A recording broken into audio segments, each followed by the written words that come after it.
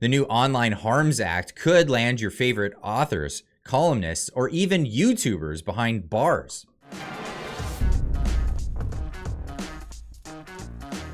Now, before we get into the nitty gritty of what could happen because of the passing of this bill, let's talk about the mainstream media and how they're reporting on it because it's largely a different picture depending on who you look at. Now, it's no secret that the mainstream media would be the largest beneficiary of this to knock out their competition by, well, as far as putting their competition in jail for just speaking their mind on issues. This really is a free speech issue. Now, what is this uh, from the BBC? All the way across the pond, Canada introduced sweeping new online safety rules. Canada has introduced a bill that aims to combat online abuse with steep penalties for hate crimes. Now, what are hate crimes? Well, this is, it can be interpreted however the arbiter at the time wants. And if the penalties are steep, well, they could use this to punish people for just having an opinion, including life imprisonment for inciting bad stuff, things that are not good and can't be uh, actually said on this platform. Don't want this on the transcript. But that being said, these things are already uh, against the law in the criminal code. There is a limit on hate speech, and that ends at inciting for violence or inciting acts of terrorism. The on the proposed Online Harms Act requires social media platforms to remove posts such as those with that which would sexualize children within 24 hours. Now, again, doing that is already against the law and doesn't need new legislation. Why would they be po- putting this forward? And of course, the media is running this as the main purpose of the bill. But as we'll see later in the video, it's not the main purpose, and it'll have devastating effects on free speech in Canada. Now, I want to mention as well, this kind of circumvents what has been used, and it's not Canadian law, but the Digital Millennium Copyright Act. It has been used in Canada. It's a US law, but when it comes to social media companies, it grants, especially in Section 230 of the law, it, it grants them special immunity from prosecution uh, because they're not the publishers of these works. Now, the way social media companies works is they they allow users to generate content on the website, and it, it would be impossible for them to publish every single thing that a user puts on a website, whether it's Facebook, YouTube, here on YouTube, uh, Google, uh, anywhere. It would be impossible for them to police that. So the Digital Millennium po- Copyright Act adds section added section 230 to say that these are not publishers, these are uh, platforms, and allowing for this to happen. This would circumvent this in Canada and allow the government to go after these social media platforms for speech that they don't like and that's really what it comes down to. The Globe and Mail reporting online harms bill proposed changes risk proposed proposed changes risk silencing free speech. Experts warn and you don't need to be an expert to realize that this is the direction that this is going in. Changing the law to allow people to file complaints to the Canadian Human Rights Commission over what they perceive as hate speech online including for example off-color jokes by comedians could inundate the system and have a chilling effect on free speech, experts warn. I mean, like, what if Dave Chappelle happened to be a Canadian? I, I bet he's reading this and going, yeah, I'm, I'm glad I'm not. Or Ricky Gervais, for example. These comedians that, you know, they have off color jokes and they're funny. It's a thing, but people complain about them. And we have seen this in recent times. And even in Canada, we've seen this in recent times Slurs force comic to pay $15,000 for tirade of ugly words, in quotes, against lesbian patron after appeal fa- falls flat. Guy Earl was, a, was ordered by the human, the BC Human Rights Tribunal to pay after a homosexual woman alleged his performance gave her post-traumatic distress stress disorder. This is egregious and this is already going on and what this will do is it will give more teeth to these tribunals and we're going to get into that in just a moment. The online bill harms bill introduced on monday would change the human rights act to make posting hate speech online a form of discrimination and empower people to file complaints to the commission about such posts. People found guilty of posting hate speech could have to pay victims up to $20,000 in compensation or even face jail time and up to life imprisonment is what's being proposed here. But experts say the ability to make such civil complaint with a lower burden of proof than a court of law could have a chilling effect on free speech. And while we you don't have to look far in Canada to see exactly that happening. The Ontario court rules against Jordan Peterson upholds social media training order. That's right. Jordan Peterson, because of the things that he said on Twitter, had complaints filed against him not not based on something that he said particularly even about an individual person but just file uh, complaints that were filed in general against him. And he's facing re-education training.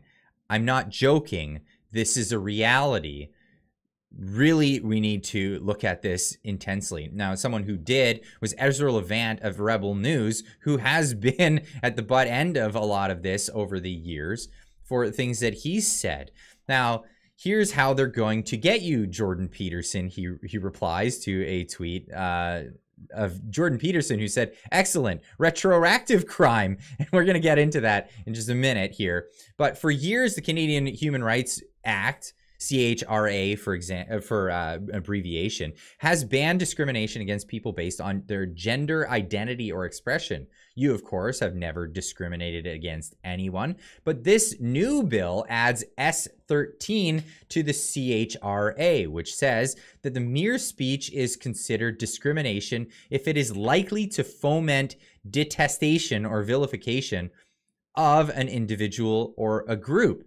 So now if someone watches your YouTube videos or reacts or reads on of your tweets, one of your tweets about say transgender athletes changing in girls change rooms and uh, as a result likely to have hard feelings towards trans people that's hate speech so just because of what you said, if somebody then down the road has ill feelings towards those people, that's your fault. It's hate speech, and you should go straight to the gulag.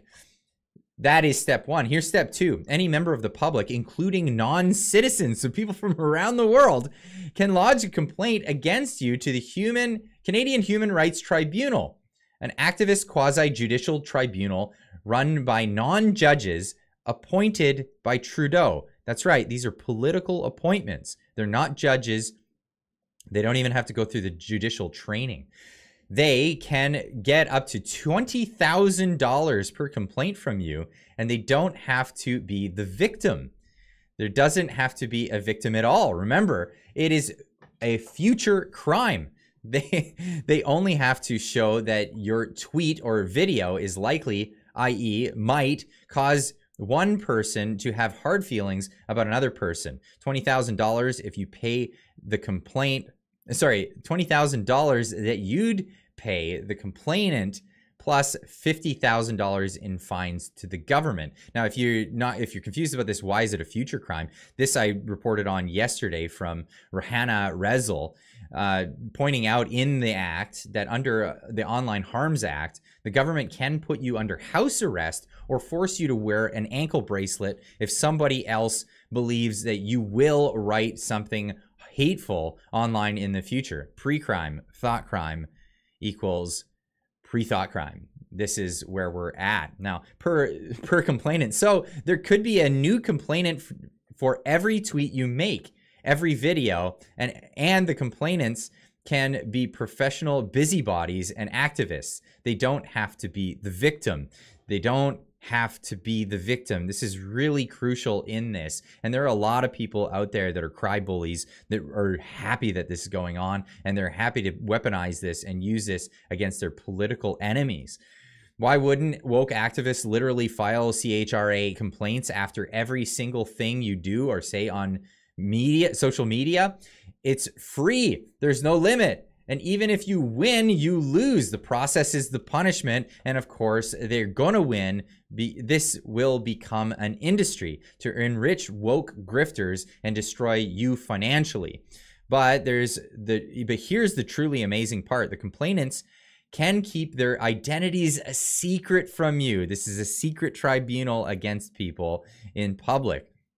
Secret testimony from secret witnesses who get paid up to $20,000 to take a run at you. So they can testify against you. You won't be able to efface your accuser. You won't even know what they said. You'll just find out what was ruled against you. That's that's how they're going to come for you and for us at Rebel News and for any of us any of us who are speaking out about this stuff the only the only the only way around this would be for people to get vpns and for all creators to leave the country and uh, report from outside. Now of course jordan peterson posting on this saying excellent retroactive crime thanks this is an evil I hadn't considered before in response to Ezra Levant's tweet pointing out communication of hate speech. It is discriminatory discriminatory practice to communicate or cause to be communicated hate speech by means of the internet or any other means telecommunication in context in which a hate speech is likely to foment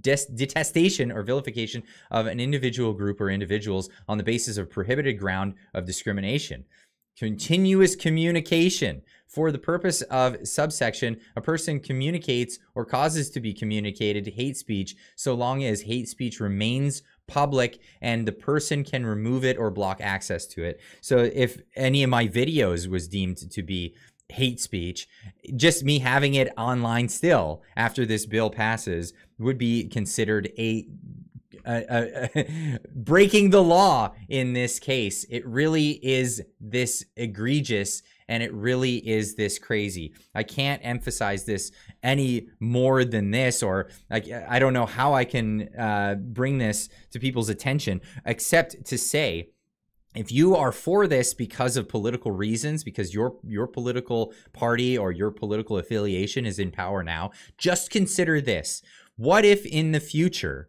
what if in the future real white supremacy came to power? How could they use this crime against you? Uh, I know this is a thing that people keep saying white supremacy is this thing. I don't believe that it really is a thing.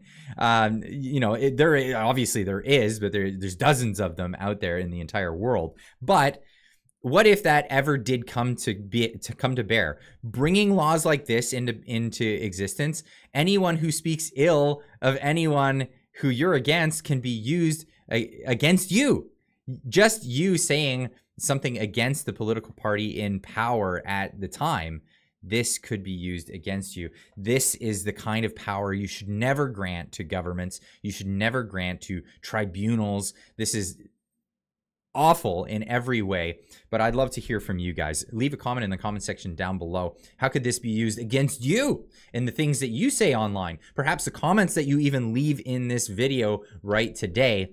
Could this be used against you? And could you be dragged before a human rights tribunal and forced into the gulags, essentially, in, imprisoned or fined because of the words that you say? Leave a comment in the comment section down below. Let me know what you think, and we'll see you in the next one. Keep on trucking.